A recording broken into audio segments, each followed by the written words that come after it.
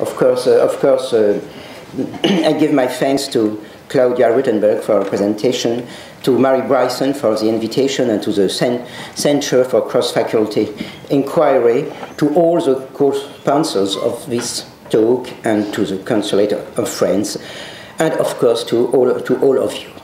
Well, the title of my, the title of my work requires a preliminary explanation. I'm certainly not the first person who suggests that there is something wrong today with the tradition of critical thinking. Many contemporary authors have declared that its time was over. According to them, there would be nothing left for criticism, since criticism implies a denunciation of a bright appearance concealing a solid and dark reality, but there will be no more any solid reality to oppose to the appearance and no darkness to oppose to affluent society. I'm not willing to lend my voice to that tune. Instead, I would like to restate the case and suggest that the concepts and procedures that defined a certain critical tradition have not vanished, but they still work, be it in the very discourse of those who made fun of it. But they do it in a way that implies an entire reversal of their supposed ends and orientations, so that it is only by taking into account the persistence of the framework and the reversal of its functioning that we can hope to engage in a true critique of the critic, I think. So I'll focus on some contemporary manifestations in the fields of, of theory, politics, and art that reveal a significant shift in the procedures of presentation and demonstration associated with the tradition of critical thinking. I'll borrow my starting point from the art world by focusing on the evolution of an artistic procedure that was for a long time emblematic of critical art, the procedure of collage. I don't understand collage as a technical device, but as an aesthetic procedure which consists in playing on the clash of heterogeneous, if not contradictory, elements. But aesthetics was implemented in the time of surrealism as a means of exposing the reality of bourgeois everyday life and disclosing the deeper reality of desire, dream, and the unconscious. Then it was taken up by Marxist artists, notably under the form of photomontage, as a means of showing the realities of violence and exploitation underpinning the false appearances of peaceful democracy. Among the artists who used it in that way, Martha Rosler made at the end of the 60s and the beginning of the 70s a well known series, Bringing War Home, by pasting images of the war in Vietnam on images of American petit bourgeois or bourgeois interiors. For instance, in this collage called Amputee,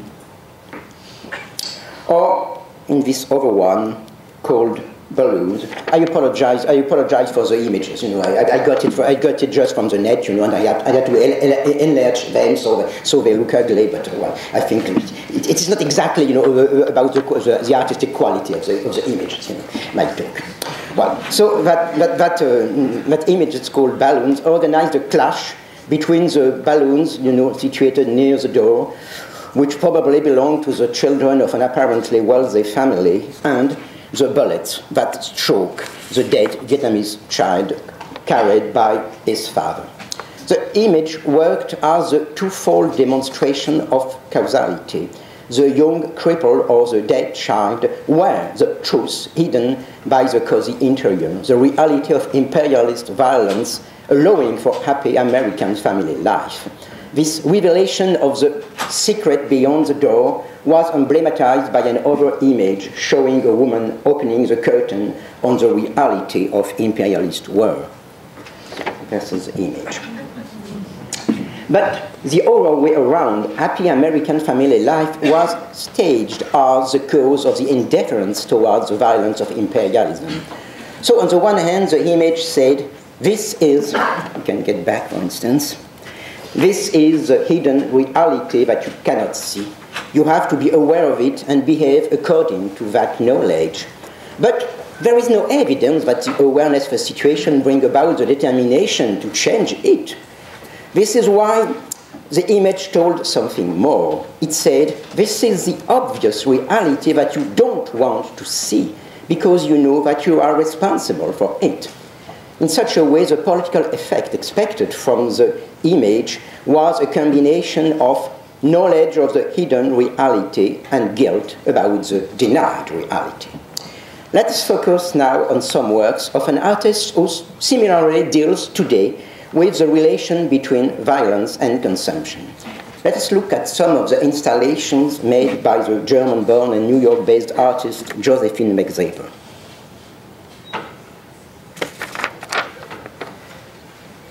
They consist so in little in little showcases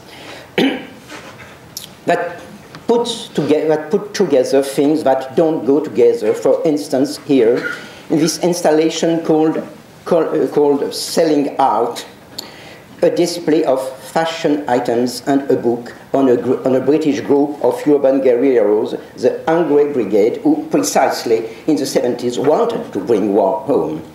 Or here, a communist poster near to a mannequin for feminine lingerie. Or here, the well-known slogan of May 68 in France, ne travaillez jamais, never work on bottles of perfume. The struggle of the collage is the same as that of Martha Rosler's series.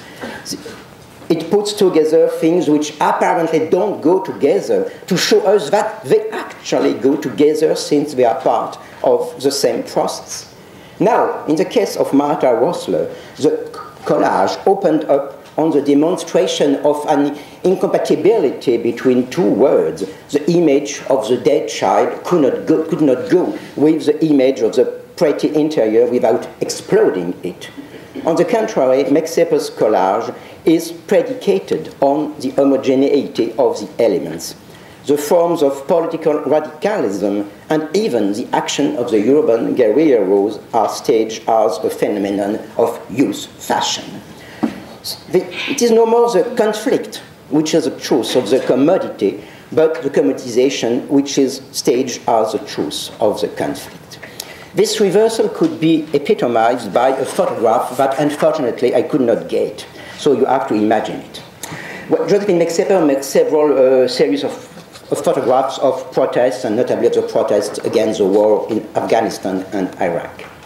One of these photographs shows us protesters holding banners in the background, but in the foreground we see an overfilled garbage, garbage can, the content of which falls to the ground.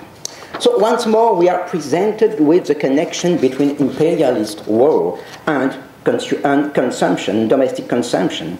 The anti-war protest brings war home, but it brings it in a space where it is at home, in a space of struggle that is itself a territory of consumption. Presumably, the cans and packages that overfill the bin have been thrown there by the protesters themselves.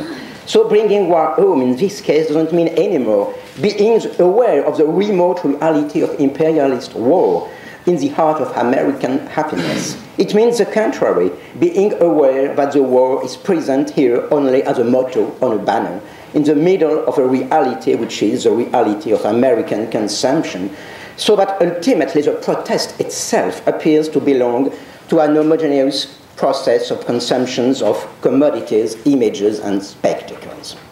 So at first sight, we must draw the conclusion that the logic of the critical dispositif of collage has been entirely self cancelled. There is no hidden reality to unveil, no feeling of guilt to arouse. But if it were so, why keep a dispositif that has no more any relevance? This is why my assumption is, is, is quite different.